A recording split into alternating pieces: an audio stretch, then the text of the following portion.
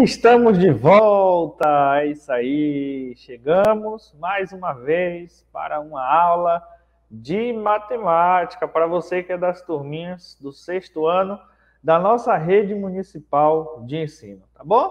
Então, desde já, seja bem-vindo, seja bem-vinda. Vamos juntos estudar matemática da forma mais simples que a gente conseguir fazer por aqui, beleza? Bom, eu sou o professor Iago Ramos, venho lá da Escola Municipal Faustino Dias Lima. A minha pele é branca, meu cabelo preto. Nesse momento eu visto uma camisa cinza sem estampas e por cima um jaleco branco. E aqui atrás de mim, como sempre, o cartaz da Secretaria Municipal de Educação de Feira de Santana, que tem as logomarcas da Prefeitura Municipal de Feira de Santana e da própria Secretaria Municipal de Educação aqui da nossa cidade. Bom, então é isso aí. Passada a apresentação, o que é que a gente tem para aprender aqui nessa aula, né? Como está escrito ali na tela, a gente vai aprender a identificar informações importantes em um gráfico que auxiliam na interpretação do mesmo. E que é, é, informações são essas? Título, eixos, variáveis, legendas, fontes e datas, informações né, que nos ajudam a fazer leituras de gráficos. Mas calma, né? que a gente vai aprender isso aqui direitinho, passo a passo, uma coisinha de cada vez. Vamos lá então? Bom, vem aí com o máximo da sua atenção, o máximo da sua concentração, porque eu já começo a aula trazendo uma perguntinha aqui para você. É isso aí, uma aula para a gente já começar a pensar né, nas coisas que fazem parte do tema que a gente vai estudar por aqui e a perguntinha que eu trago para você é, olhando aqui para a tela, olha só, sobre esse gráfico que aparece aí, para qualquer pesquisa, né, não importa qual pesquisa foi feita, o setor verde corresponde, corresponde ao quê? Corresponde à minoria, está no item A, corresponde à metade, está no item B, ou corresponde à maioria está no item C. Olha para o gráfico, veja o setor verde e encontre uma das respostas. Vou te dar 30 segundinhos, tá bom?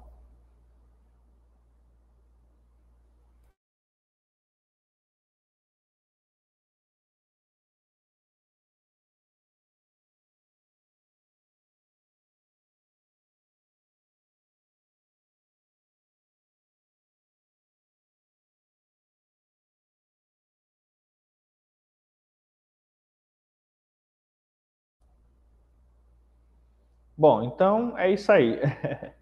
claro que 30 segundos acabou até sendo muito para a pergunta que foi feita, né? Porque se a gente olhar nesse gráficozinho aí, aquele setor verde, tá? O que é um setor? Um setor é cada fatiazinha daquela colorida que aparece no gráfico, né? A gente tem ali um setor verde, um amarelo, um laranja e um azul, né? O azul é a maioria, tá bom? Então a gente já descarta o que está no item C, porque a pergunta foi feita falando do setor verde. E olhando para o setor verde, a fatiazinha verde também não é metade, né? Então, logo só sobra aí, nesse caso, como resposta correta, a minoria. Olha só, né? Então, o que é que a gente acabou de fazer aqui? A gente acabou de fazer aqui uma leitura, né, sobre um gráfico, né? E nem importa qual foi, né, qual é a pesquisa, qual é as informações em relação a esse gráfico, né? Sem maiores detalhes, apenas olhando para o gráfico e tentando encontrar uma resposta. Já para a gente entrar nesse ambiente, nesse cenário, né? Nesse mundo de coisas que tem aí a ver com gráficos, tá bom? Então, a gente vai agora pensar um pouco, porque a gente vem começando, a gente começou a falar de gráfico, né? Mas vamos pensar aqui, para que que servem os gráficos? Você já estudou essa coisa de gráfico, será? Já se perguntou por que, para que que serve isso? Ou ainda que você não tenha estudado, você pode ter visto, por exemplo, é, em algum lugar, tá bom? em algum lugar você talvez já tenha visto um gráfico e aí ficou essa dúvida, mas para que, que serve gráfico, né? Para que, que servem os gráficos? Eu vou te trazer aqui uma resposta, tá? Os gráficos é, são importantes, né? São importantes elementos que nos ajudam, ajudam a mim, ajudam a você, ajudam a qualquer pessoa a entender, a compreender situações que estão à nossa volta. Olha só que bacana, né? Então é para isso que servem os gráficos, né? São importantes elementos que vai nos ajudar, que vão nos ajudar a compreender situações que estão à nossa volta. É para isso que servem os gráficos, né? Ou seja, eles são os nossos amigos, tá? Então, a gente vai ver dentro dessa aula isso de uma maneira é, bem prática, vendo mesmo como é que funciona, né? É, Para que, que serve um gráfico, né? E como acontece esse negócio de, de compreender uma situação que está à nossa volta. Tá bom? Então, deu para entender para que, serve o gráfico? E é por isso que a gente anda vendo por aí, né? Gráficos para nos ajudar nesse sentido aí, né? de compreender as coisas que estão à nossa volta. Quais são as vantagens, né? Quais são os benefícios, né? O que é que tem de bom nos gráficos? Olha só, o que é que tem de bom? Por que, que, por que, que a gente lê gráfico é uma coisa boa? Porque o gráfico, ele resume as informações, né? Talvez seja muito melhor olhar essas informações em um gráfico do que ler talvez um texto enorme sobre essas informações. Olha só. Então, o gráfico é um elemento que ele resume as informações. Os gráficos, eles são objetivos. A gente olha para eles e a gente já vê o que é que os gráficos estão querendo nos dizer. Tá bom? É uma outra vantagem, é uma, uma outra coisa boa da gente usar, de a gente ler e interpretar gráfico. O gráfico são, os gráficos são ilustrativos, né? São desenhos, são, são é, é, formas ilustradas, né? Para resumir as informações, é muito melhor para a nossa visão enxergar uma, uma informação ilustrada do que talvez uma informação através de palavras. Talvez seja mais confortável para os nossos olhos, né? E o melhor de tudo é que os gráficos né, são de fácil interpretação. O que é que isso significa dizer? A gente olha para o gráfico, né? E ali, de uma maneira bem fácil, a gente já consegue entender né, qual é a situação que está nos cercando e o que é que está acontecendo nessas situações. Tá bom? Então, olha só, né? O quanto o gráfico é uma coisa bacana. E por isso que eles são importantes, né? e nos ajudam em situações do nosso dia a dia. Mas aí eu trago outra pergunta que talvez você também já tenha parado para pensar nisso ou não, né? Se não pensou, vai pensar agora. Onde é que a gente pode encontrar esses tais gráficos, né? Onde é que eles aparecem? Eu disse, fiz aqui um comentáriozinho, que talvez em algum momento você já tenha visto um gráfico, né? E aí eu trago aqui como exemplo, onde é que a gente encontra gráfico, né?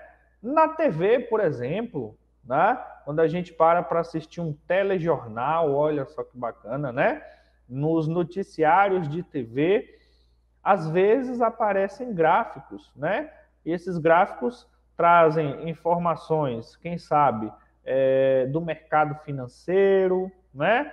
Ou traz informações sobre política, ciência, enfim, né? Vários assuntos que possam ter ali na transmissão de um noticiário de TV, né? Os gráficos aparecem. Se você tiver a oportunidade em algum momento de estar tá vendo né, uma notícia na TV, pode né, ter esse cuidado de olhar que em algum momento pode aparecer um gráfico, tá bom?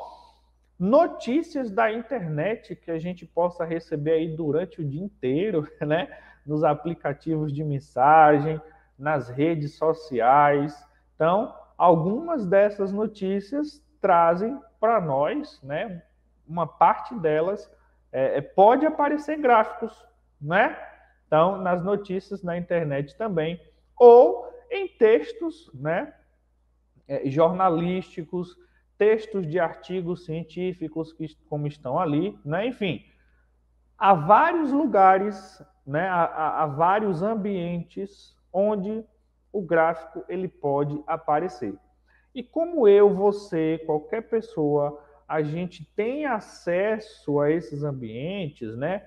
TV, a internet, alguns textos que a gente receba, eles podem aparecer com, com gráficos, né? E a gente precisa saber, né, como entender esses gráficos. Tá bom? Bacana? Até aqui tranquilão? Bom, espero que sim. Certo? Então é isso aí. E aí a gente faz aquela pausazinha na aula, que é o momento de a gente parar e fazer o seguinte, tá? Até aqui, desse momento da aula, o quanto foi que eu entendi, né? Até, até essa parte que a gente fez aqui, né? Essa, esse comentáriozinho aí sobre gráfico, até aqui, o quanto é que você entendeu.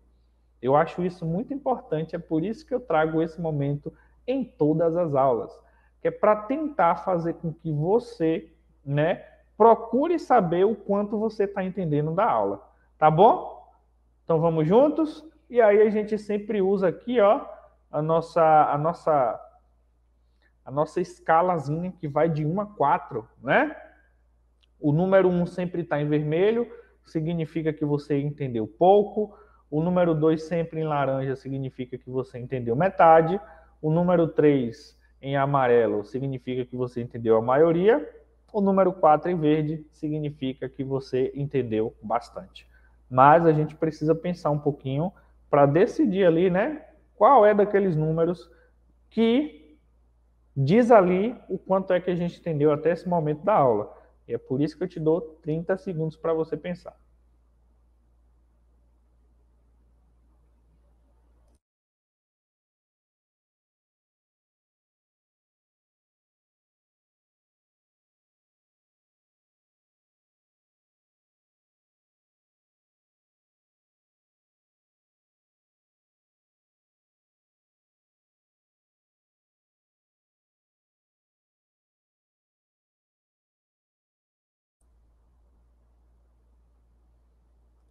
Bom, então é isso aí.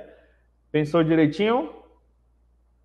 Beleza? Então vem aqui, vamos juntos, porque ainda tem mais coisa para a gente ver e a gente vai ver agora um pouco mais sobre esses gráficos, né? Alguns detalhes, algumas coisinhas que são importantes para a gente poder entender nos gráficos, para que esses gráficos nos ajudem a entender a situação, né? As situações que estão à nossa volta, tá bom?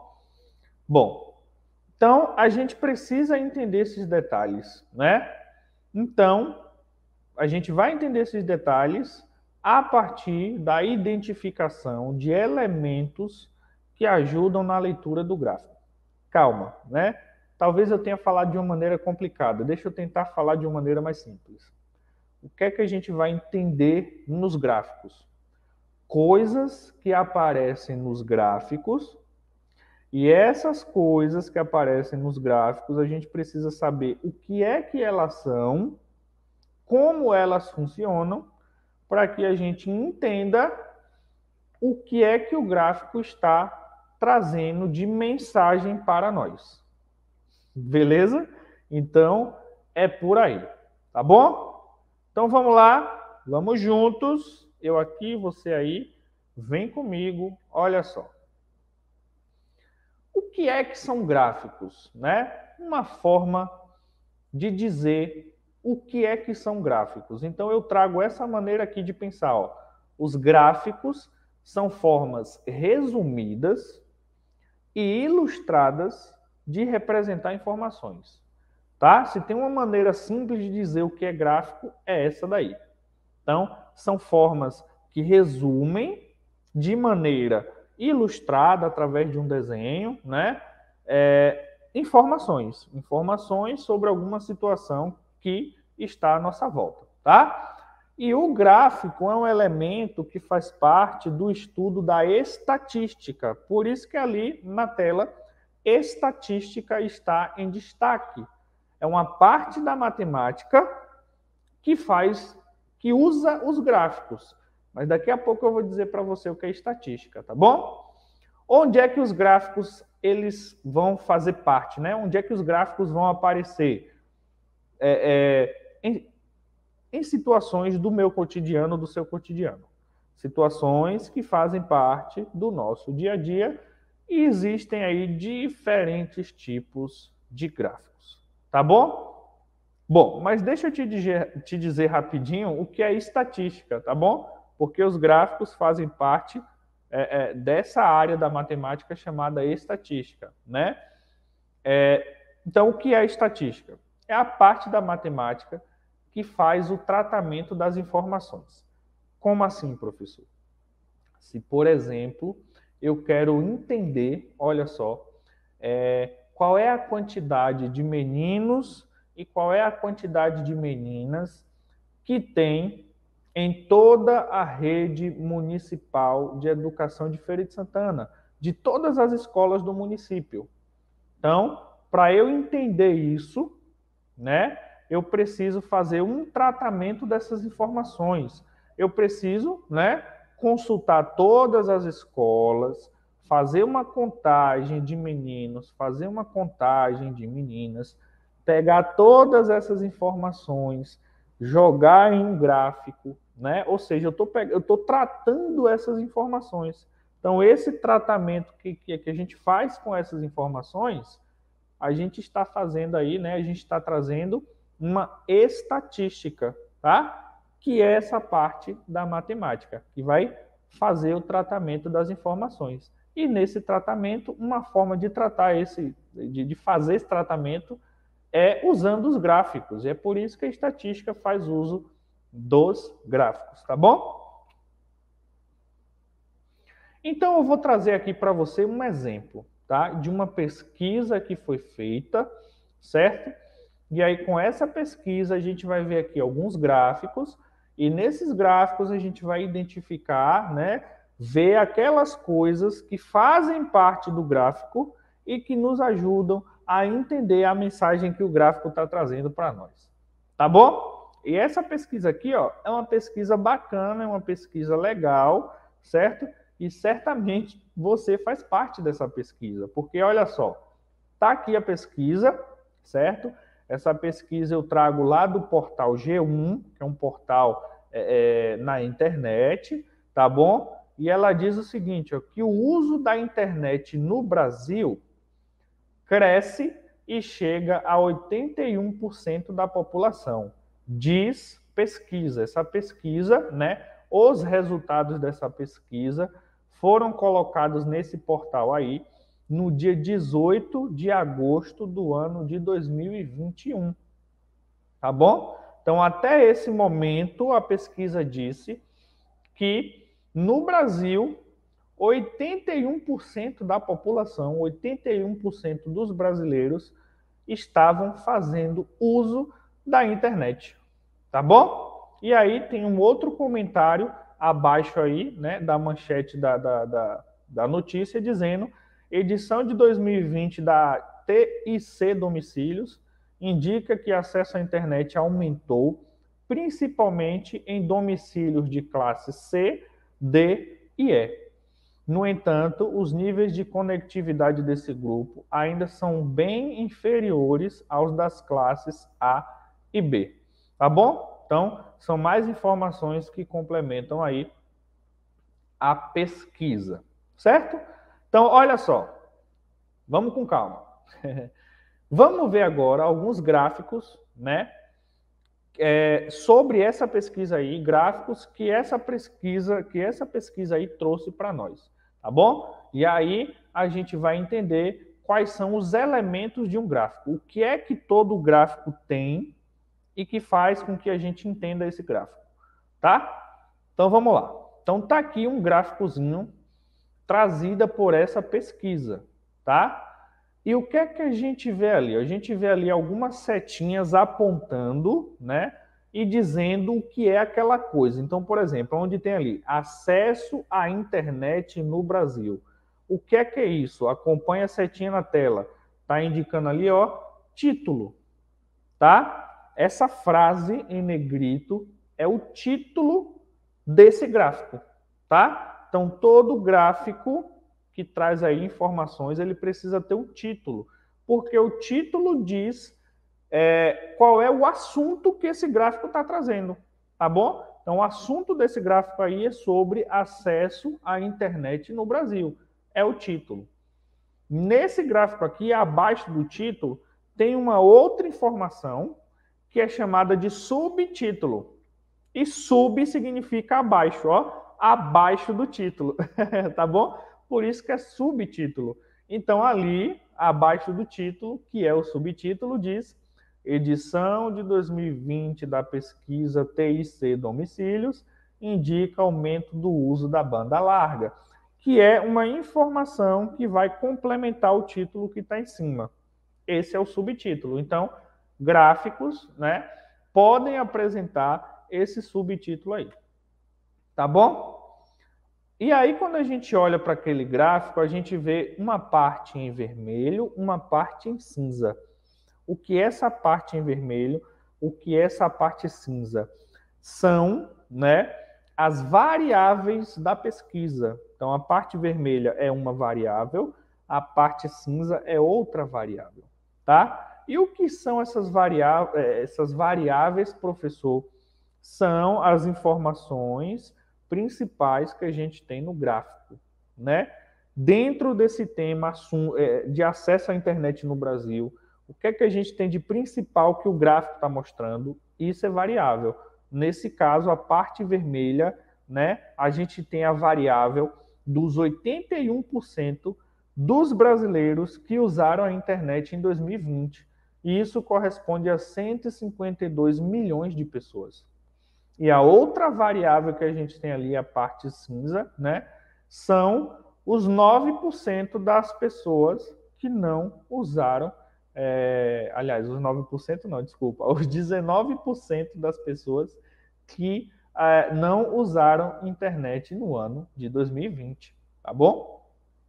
E a gente vê ali ainda também uma informaçãozinha bacana, ó, que naquele traçozinho preto ele está dizendo que em 2019 o índice era 74. Então, de 2019 para 2020, isso aumentou aí 7%, né? Foi de 74% para 81%. Então, as variáveis são isso, né? São a, as principais informações dentro do, do tema da pesquisa que o gráfico mostra para nós. Então, título, subtítulo, variável são elementos de um gráfico, podem ser elementos de um gráfico pode aparecer, né? Aliás, vão aparecer nos gráficos esses elementos aí. E são esses elementos que ajudam a gente a entender o gráfico, tá bom? Então, outro aqui a gente vai identificar, ó. Nesse gráfico, a gente tem o título, que a gente já sabe o que é, o subtítulo também, que a gente já sabe, as variáveis, que a gente já sabe o que é, só que tem ali também a fonte e a legenda. Então, eu vou começar por eles, tá bom? A fonte é da onde está sendo tirado esse gráfico, tá? E no, nesse caso eu vou apontar aqui, ó. Aqui embaixo tem a fonte, ó. Tem aqui fonte igual é, cetic.br, cetic.br. Então foi desse lugar que esse gráfico aqui, né, foi retirado. Então a fonte é da onde esse gráfico foi retirado, né?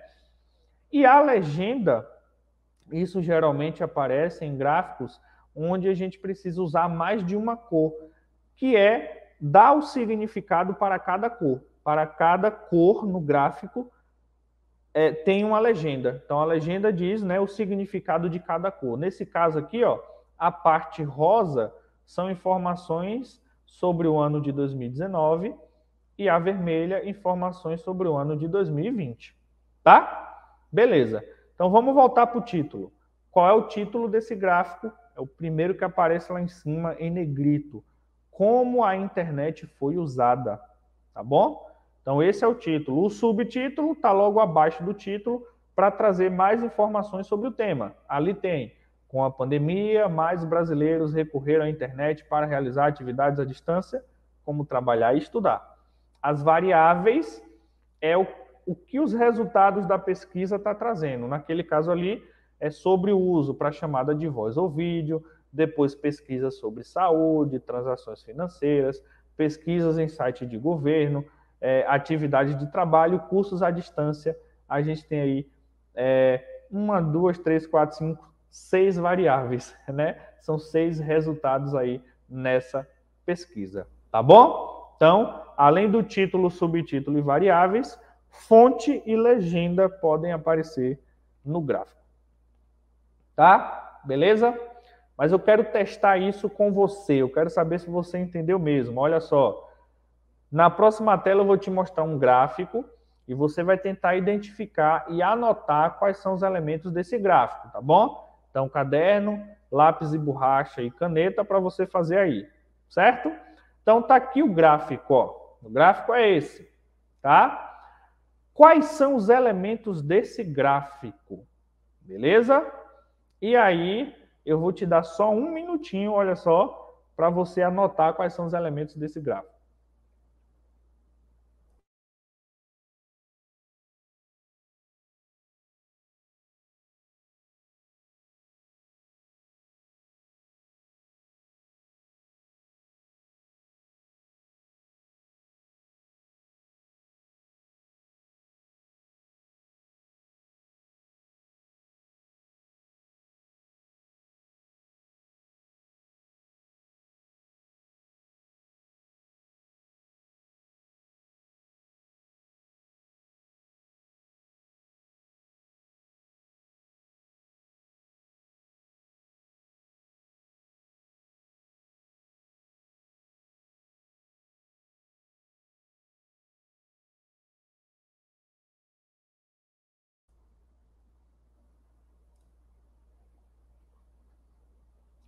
Prontinho. E aí, já, já achou quais são os elementos? Conseguiu anotar? Vem aqui junto comigo, olha só. A gente tem nesse gráfico o título, que é dispositivo de acesso. Embaixo dele tem o subtítulo. Celular segue como principal meio para acesso à internet. uso da televisão cresce e supera o computador. Tá bom? Esse é o subtítulo. As variáveis que a gente tem ali, ó, é sobre o uso do celular, o uso do computador e o uso da TV. É onde estão os resultados da pesquisa, tá bom? E para esse gráfico também a gente pode ter uma legenda para dizer ali, ó, o ano de 2019, tudo que aparecer sobre 2019 em rosa, né? E tudo que aparecer sobre 2020 em vermelho, tá bom? Então esses são os elementos que a gente consegue ver aí nesse gráfico, tá bom? Bom, aqui foi a fonte, né, o, o site, lá no portal G1, onde a gente trouxe essa pesquisa aqui para você na aula, tá? Fazer aquele momentozinho de avaliação sobre o que você aprendeu aqui nessa aula. Dessa vez eu vou deixar como sugestão que você, no seu caderninho, que você estuda matemática, escreva aí um pequeno comentário sobre o que você aprendeu, tá bom? Fazendo isso, você vai estar fazendo uma avaliação de você mesmo aqui sobre o que você conseguiu aprender nessa aula, tá bom? Espero que você tenha curtido. Nós aqui curtimos bastante, mas a gente vai ter que ficar por aqui, tá bom?